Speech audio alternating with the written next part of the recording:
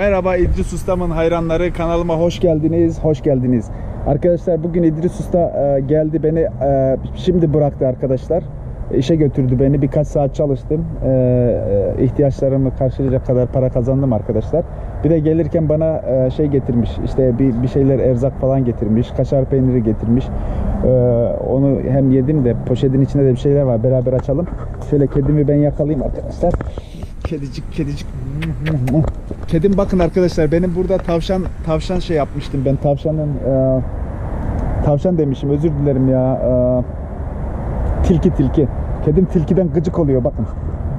Kızım. Arkadaşlar ne kadar güzel ya bak. Bu var ya o kadar sıcak tutuyor ki of. Fırın gibi. Arkadaşlar aranızda e, tilki tilkiden e, anlayan varsa of acayip tüy bıraktı ya. Ben bu tilkilerden size göndereyim arkadaşlar. Bana bu tilkiden böyle çok güzel şapka yapmak yapabilir misiniz? Yani var mı tanıdığınız? Bir de İdris Usta'nın bana getirdiği malzemeleri size göstermek istiyorum arkadaşlar. Buraya yere koymuştum. Arkadaşlar e, ben portakalı seviyorum. Portakal bana sordu ne istiyorsun dedi. Dedim portakal dedim domates şey yapmış.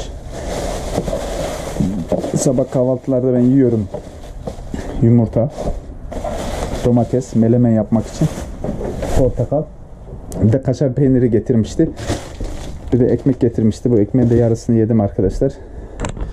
Arkadaşlar İdris Usta'yla çekim yaptık yani çalışırken. Yani o yayınlayacak galiba. Yani İdris Usta'yı e, e, beğenip e, paylaşıp yorum yaparsanız sevinirim arkadaşlar.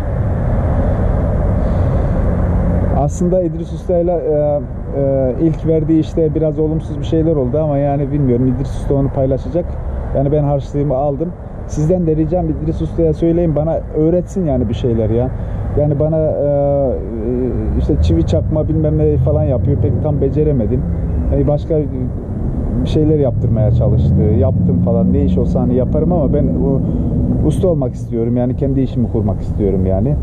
Ee, İdris Usta yayınlar inşallah. Yayınladıktan sonra da orada yorum yapın.